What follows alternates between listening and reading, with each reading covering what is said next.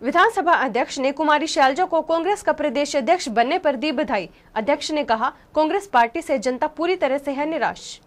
हरियाणा विधानसभा अध्यक्ष चौधरी कंवरपाल गुज्जर ने कुमारी शैलजा को कांग्रेस का प्रदेश अध्यक्ष बनने पर बधाई दी और साथ ही कांग्रेस पर पलटवार करते हुए कहा कि कांग्रेस का जिस प्रकार से व्यवहार रहा और कांग्रेस कई जगह बट गई, पहले अशोक तंवर के हाथ में कमान थी तो इन लोगों ने उसका विरोध किया।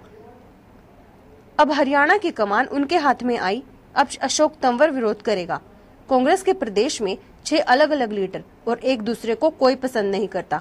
अभी पिछले दिनों आपने देखा होगा कि कांग्रेस का विपक्ष का नेता बनना था और इनके पास पूरी संख्या भी थी, लेकिन गुटबाजी के चलते पार्टी विपक्ष के नेता का फैसला नहीं कर पाई। जनता इस बात को समझती है, जिन लोगों में इतनी एकता भी नहीं है। अगर इन लोगों के हाथ में राज आ गया तो यह क्या करेंगे?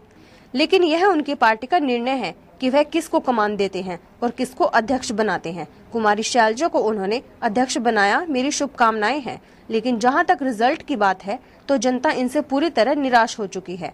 देखिए, एक है कि जिस प्रकार का पहले व्यवहार रहा ना जी, कांग्रेस कांग्रेस कई जगह गई।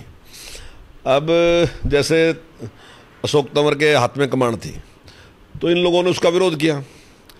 अब इनके हाथ में आई तो वो विरोध करेगा। और ये कांग्रेस छः जगह छः लीडर हैं कांग्रेस के अलग अलग अलग अलग छः लीडर हैं। एक से दूसरे को कोई सा सहन नहीं करता। अभी आपने देखा कि इनका विपक्ष का नेता बढ़ना बढ़ना था इनके पास पूरी संख्या थी कोई दिक्कत नहीं थी बस इनको तो केवल पास ही तो करना था एक। इन्होंने अपने साइन करके एक प्रस्ताव पास करके मैं देना था कि विपक्ष का नेता हमारे को इस, इसको बनाया जाए। तो जो पार्टी विपक्ष के नेता के लिए फैसला नहीं कर सकी कि विपक्ष का नेता किसको बनाया जाए और उस पार्टी से हम उम्मीद कर रहे हैं कि वो चुनाव में एक होकर लड़ाई लड़ेगी, या उससे हम उम्मीद कर रहे हैं कि वो प्रदेश के निर्णय ले सका ठीक तरीके से। मैं नहीं समझता, जनता इस बात को समझती है कि जिन लोगों में इतनी भी एकता नहीं है, अगर इनके हाथ में रहा जाएगा तब ये क्या करेंगे? तो इससे कुछ भी होने वाला नहीं है, लेकिन ये उनकी अपनी पार्टी का निर्णय है कि वो किसको कमान देते हैं और किसको अध्यक्ष बनाते हैं। अब कुमारी शैलजा जी को उन्होंने अध्यक्ष बनाया, उनकी पार्टी का विषय है। मेरी शुभकामनाएँ उनको कि वो अध्यक्ष बनी है, मेरी बहुत बहुत शुभकामनाएँ हैं।